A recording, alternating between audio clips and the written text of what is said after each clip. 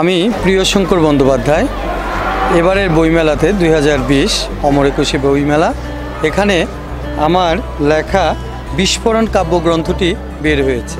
এটি আমার পঞ্চম কাব্যগ্রন্থ। ইতিপূর্বে আমার লেখা বিপ্রতীপ, প্রেমের কবিতা, আমি বাঙালি, বাংলা আমার, আমি বাংলার নামে আরও চারটি কবিতার বই বা কাব্য বের হয়।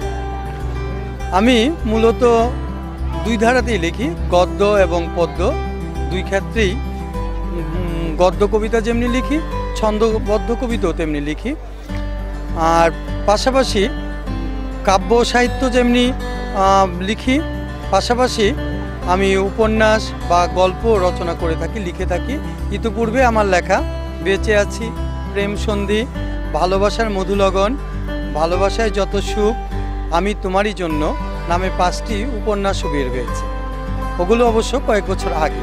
সাম্প্রতিক সময়ে পাঁচটি কাব্য বের হয়েছে, যেটা আমি আগেই বলেছি যে নামগুলো বিপ্রতীপ, আমি তো বিপ্রতীপ বাংলা আমার আমি বাংলার প্রেমের কবিতা, আমি বাঙালি, এবং এবছর বের হলো বিস্ফোরণ।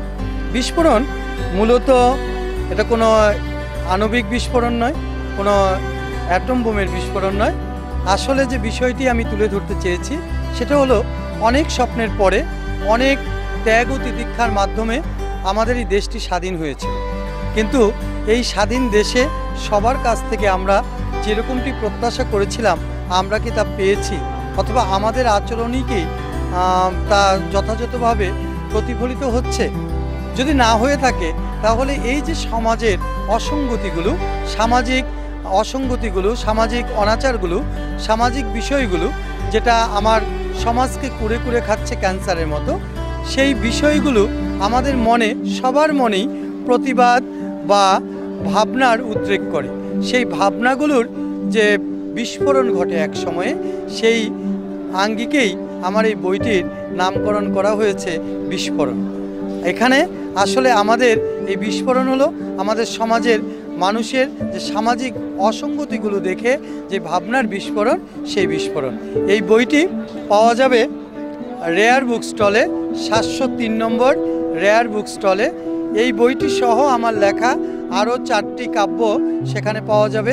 আপনারা কিনে আপনাদের পড়লে পরে আপনাদের যদি একটু ভালো লাগে, তাহলে আমার শ্রম এবং সাধনা সার্থক হবে বলে আমি মনে করি। বঙ্গ নিউজকে ধন্যবাদ।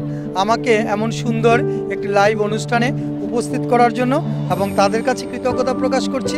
পাশাপাশি তাদের সাথে আমার সম্পর্ক আরও সুবিস্তৃত থাকবে এবং যে কোনো সময়ে আমরা যেহেতু ওনারা নিউজ করে সমাজের বিষয়গুলোকে তুলে ধরেন, পাশাপাশি আমরা লেখালেখির মাধ্যমে সমাজের অসঙ্গতিগুলো তুলে ধরতে চাই। আমাদের পথ ভিন্ন হলেও আমাদের মতাদর্শ এক। কাজেই বঙ্গ নিউজের সাথে আমার সম্পর্ক থাকবে অটুট। এই প্রত্যাশা ব্যক্ত করে আমি বিদায় নিচ্ছি। সবাইকে ধন্যবাদ।